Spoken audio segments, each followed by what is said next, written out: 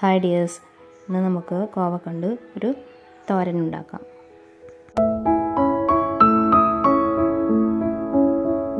ഇനി ആവശ്യമായിട്ടുള്ള കോവക്ക നമുക്ക് പറിച്ചെടുക്കാം. ഇത് ഉമ്മാന്റെ അടുക്കളത്തോട്ടത്തിലുണ്ടായ കോവക്കയാണ്. നല്ല വലുപ്പമുള്ള ഒരു വ്യത്യസ്തമായിട്ടുള്ള ഒരു കോവക്ക. കാണാൻ തന്നെ നല്ല ഭംഗിയുണ്ട്. ഇന്ന് ഇതുകൊണ്ടാണ് ഉപ്പേരി ഉണ്ടാക്കുന്നത്. നമുക്ക് എങ്ങനെ ഉണ്ടാക്കാൻ നോക്കാം. അത്യാവശ്യം നന്നായിട്ട് തന്നെ കോവക്ക ഉണ്ടായിട്ടുണ്ട്.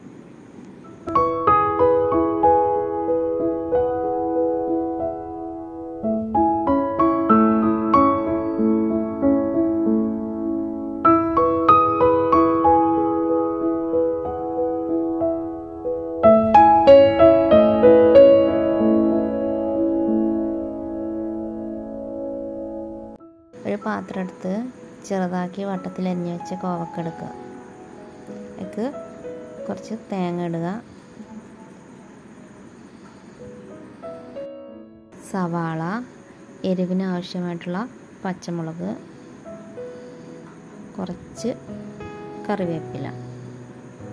ആവശ്യത്തിനുള്ള ഉപ്പ് ഇട്ട് നന്നായിട്ട് തിരുമ്മിയെടുക്കുക.